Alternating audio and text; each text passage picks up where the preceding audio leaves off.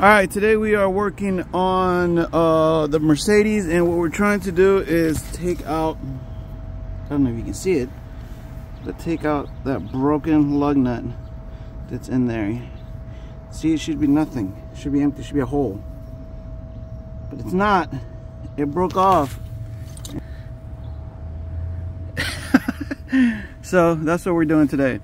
All right, so what you do is you take the caliper out. So there's the caliper. I just got it resting on this. I didn't unplug anything. The pads are still there. I just took the whole thing out. So you essentially take two of these 18s, uh, which is this and that one down there. Set it aside. Remove the set screw, which is right here. I already loosened it up with the wrench, so this is what I can do with my hand. Once the set screws move, put aside. A couple taps. There's your rotor. All right, now you see that? That's what I gotta remove. It should be like this, completely through. But we'll figure it out. Okay, so this is the type of bolt that it doesn't have a head here because the they, the screws, the bolts go into from the outside like this. So the head is on the outside. Typically, they're like this, and then you can just hit a hammer and it comes out this way. Um, but it's it's on there, so heat gun. This was like the best ten dollars I've ever spent was this heat gun, and we're just gonna heat it up heat it up, heat it up, heat it up a little bit, and then I'm gonna take a drill and drill inside and then take an extractor uh, bit and try to pull it out that way. Let you know how it goes. All right, so I started drilling, trying different drill bits here. Uh, you see I have a bunch here I'm trying. And I just stuck this screwdriver in here just so that this thing that stays put because it rotates every time I put the drill in here. So making some progress there. We'll go a little bit more and then we'll use the extractor uh, bit to pull that thing out. All right, so I tried drilling and uh, it's not really working out and I'm starting to damage this part a little bit. So what I'm gonna do is take this out, um, take the hub out. So what you do is you grab like anything, but I used one of these.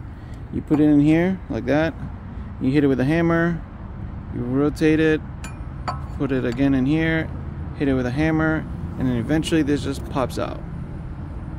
All right once that pops out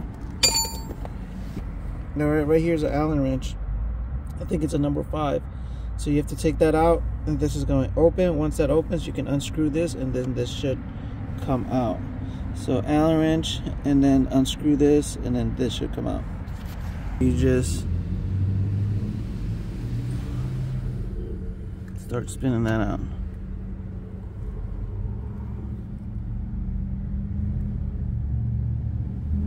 Okay, and you see that? Now it's this is becoming loose. There you go. You just spin that bad boy out. You don't have to take the whole thing out. Look, I left the, the screw in there.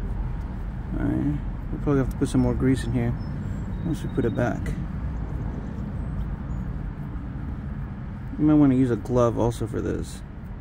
Um, I don't really care, so whatever. Bad. We just set that sucker right down there. It's not too bad.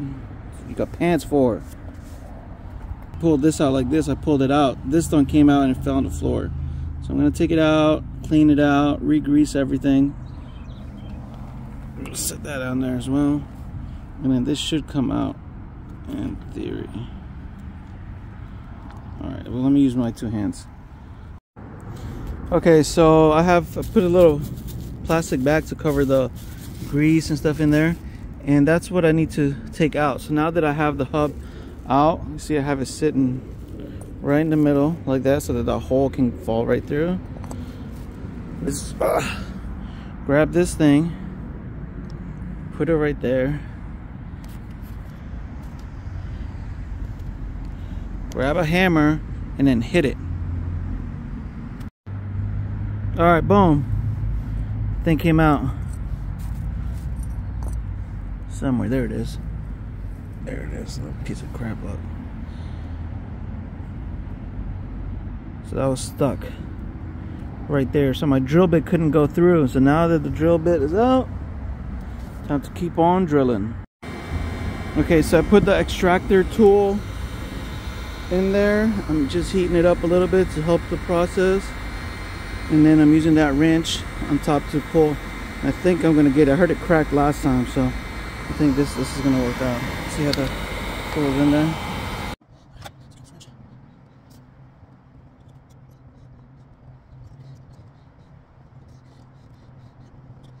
Take a little time. All right, got it. Yeah, done. Okay, so we're putting things back now. Uh, I removed the thing here.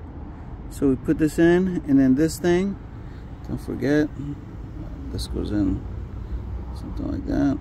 Take your Allen wrench, again number five, and then tighten this up. And then put the rotor back in, and then the caliper with the pads.